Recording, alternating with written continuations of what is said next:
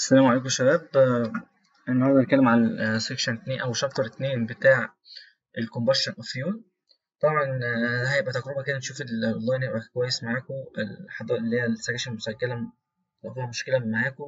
عشان برضه فترة رمضان وكده لو إحنا هنسجل فيها بدل ما ننزل في الصيام وكده.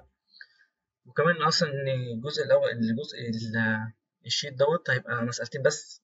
هناخد منه الجزء الأولاني بس الدكتور مقسم part part 1 part 2 ف part الاولاني هو عبارة عن مسألتين بس فمش مستاهل إن إحنا ننزل فيهم كلها ونعمل ال section بس برضه لو عنده مشكلة وعايز برضه إن إحنا ننزل مفيش أي مشكلة برضه عادي.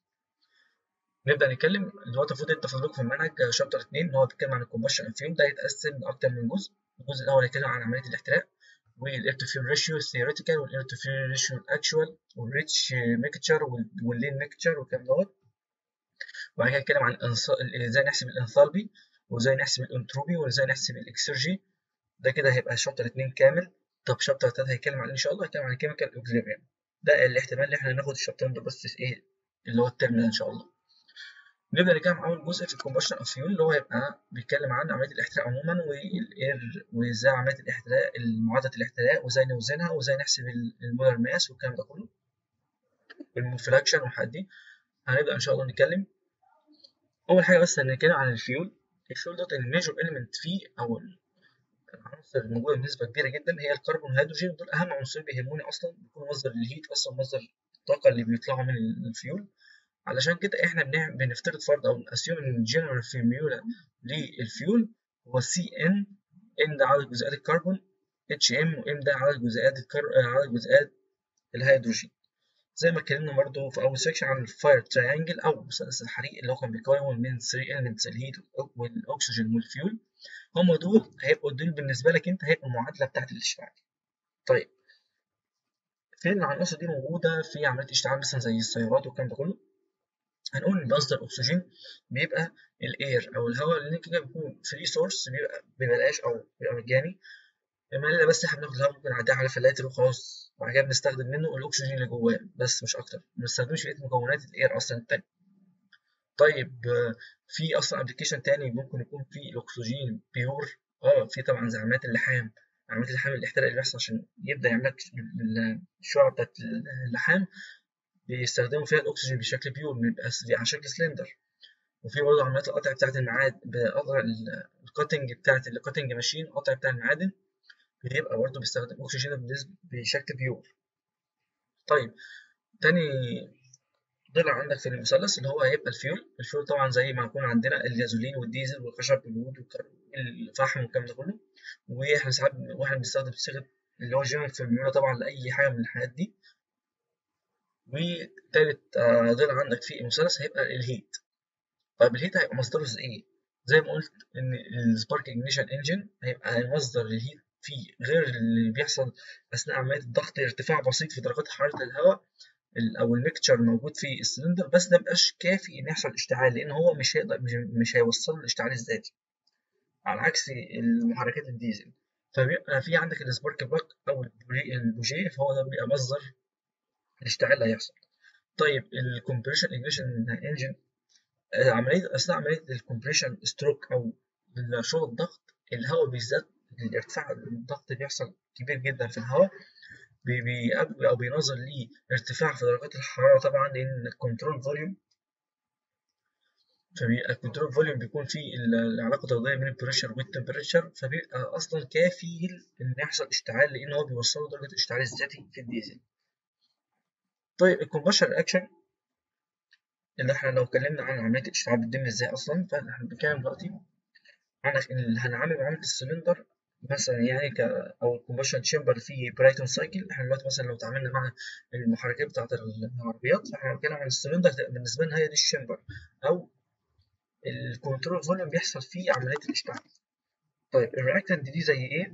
اللي بتخش ال combustion chamber بتخرج ك product ال reactant دي زي ال fuel وال air اللي بيخش أو ال mixture اللي بيخش في ال combustion chamber وبعد عملية الاشتعال بيحصل الخوارج والعوادم اللي هي دي ال product. طيب إحنا خلي بالنا اهم حاجة ناخد بالنا منها وإحنا شغالين في المعادلات بتاعة ال combustion reaction ان إحنا بنشتغل بال volumetric analysis يعني بالمول.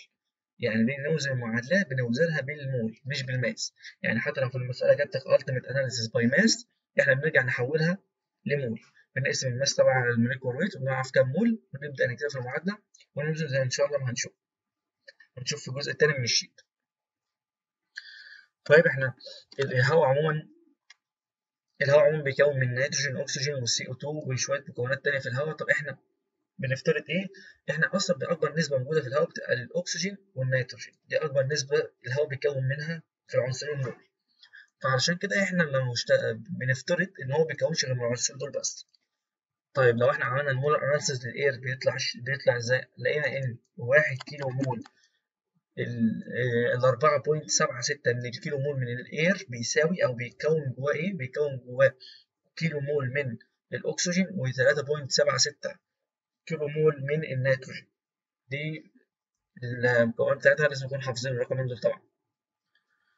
ال combustion process. طب عملية الاشتعال. في منها زي ما الدكتور اتكلم معانا كان في يا إما تبقى complete يا إما incomplete طب أنا أعرف منين complete ولا incomplete لما بنبص على ال product بنعرف هو complete ولا incomplete طب لو complete بتلاقي في ال product بتطلع CO2 H2O ولو كان في كبريت في ال في الفيول عندك هيطلع لك CO2 طيب أعرف منين إن هو زي المعادلة اللي قدامي دي كده؟ اللي هو C4H10 plus 6.5 O2 طلع أربع جزء طلع أربعة مول من أربعة كيلو مول من ال CO2 وخمسة كيلو مول من ال H2O طب الكم... طب لو كان incomplete أو incomplete هنلاقي في ال product بره ال C اللي هو الكربون أو الهيدروجين أو ال CO أو أو أكسيد الكربون أو أكسيد الهيدروجين زي المعادلتين اللي قدامنا دول.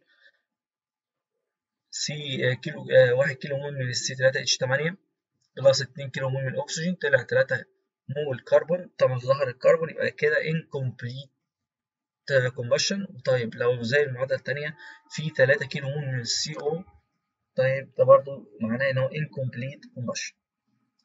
طيب ملاحظتين كده ناخدهم في اعتبارنا عشان وإحنا شغالين في المسائل بس تبقى الدنيا واضحة.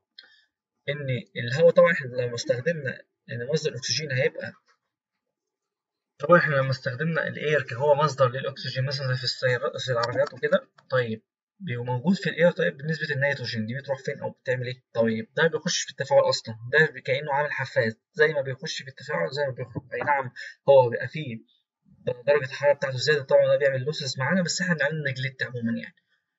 فلو أنت خدت بالك لو لو ما دخل 4.2 في 3.76 نيتروجين ده اللي كان في ال reactant خرجت في ال product كام؟ 15.76 79 نفس number of number of mole. طيب لو أنا قال لك في المسألة إحنا استخدمنا excess air أو excess oxygen ده معناه إيه؟ ده معناه إن هو حصل complete combustion طبعا بس هيبقى فيه في ال product النسبة الزيادة من الأكسجين.